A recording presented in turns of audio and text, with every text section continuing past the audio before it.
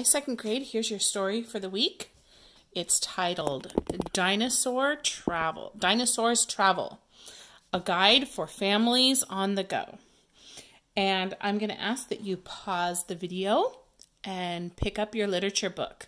I am on page 338. So pause the video.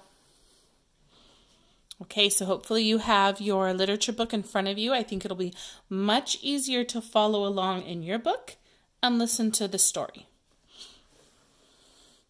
The genre is nonfiction informational text. An informational book gives information about a topic. And it is by Laurie Krasny Brown and Marc Brown. And Marc Brown is the author of the Arthur books. So the pictures might look a little bit similar because I think they're also the illust he's also the illustrator. Traveling. Do you ever wish you could climb a mountain, fly through the air, or ride around town in a long limousine? Every time you leave home, whether to travel around the world or around the block, get ready for an adventure.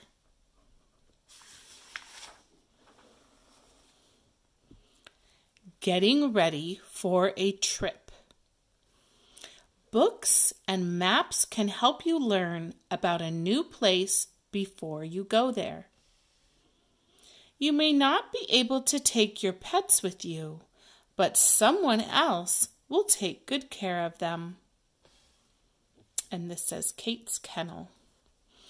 If you take the addresses of friends and relatives, you can write to them while you're away.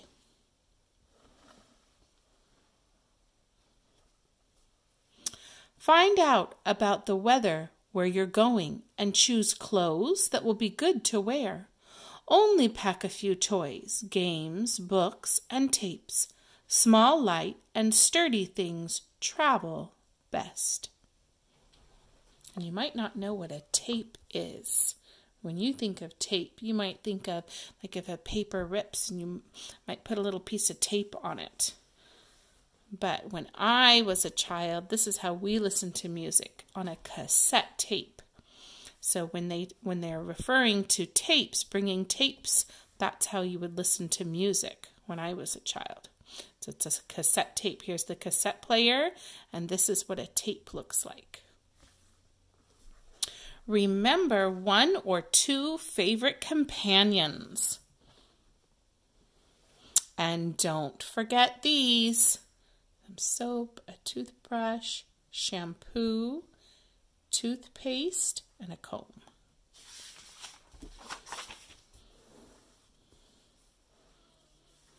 Getting from place to place. Wherever you're headed, getting there can be part of the fun. The sign says airport. She's going in a taxi cab. Stegosaurus Airlines, they're flying. And it looks like this dinosaur is taking a sailboat.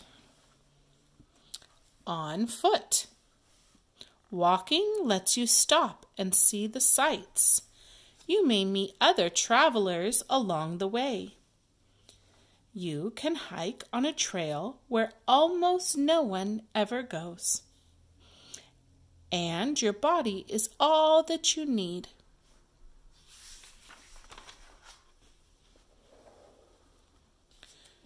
Your own wheels. Bicycles and skateboards are faster than walking. You're the driver. It's up to you to know the rules of the road. Keep your bike or board in good working order so you're all set to ride any time. With your own set of wheels, you can go most anywhere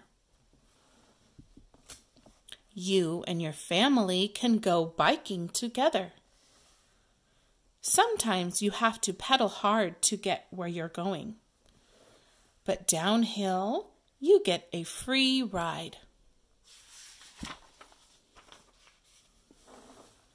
By car. Cars will take you on all kinds of roads. Riding on the highways is fastest. Driving on back roads is slower, but you see more. You and your family can go wherever or whenever you want. You can bring along lots of your things if you have room. You and your family can play word games while you ride. You can take turns reading road signs or looking at different license plates. It feels good to get out and stretch your legs from time to time. Switching seats will give you different views. If you have a cassette player, you can bring your favorite tapes. Oh, there we are, talking about tapes again. Here's the cassette player and here's the tapes. That's what they look like. Riding the subway and bus. In some cities, riding underground in a subway is the fastest way to travel. On a bus, you can see what's going on outside. A tour bus driver will point out the sights. On a subway or bus, you must pay a fare to ride. Subways and buses make many stops. Don't forget to watch your, for yours. Taking the train. You can buy a ticket for the train at the station. Look at the signs for your track and departure time. All aboard! Taking the train is a great way to see new places. On most trains, you can sit facing forward or backward. The conductor announces each stop the train makes. You can follow along with a timetable. Trains don't have to stop until they pull into a station. The train stops at many stations so passengers can get on and off. Flying in planes. At the airport, an agent looks at your ticket, checks your luggage, and assigns you a seat on the plane. Airport security makes sure no one carries anything dangerous or illegal on the plane. You can bring a small bag on most planes and stow it under or above your seat. Buckle up. Take off. As the plane climbs higher, things below look smaller and smaller. You'll fly up above the clouds.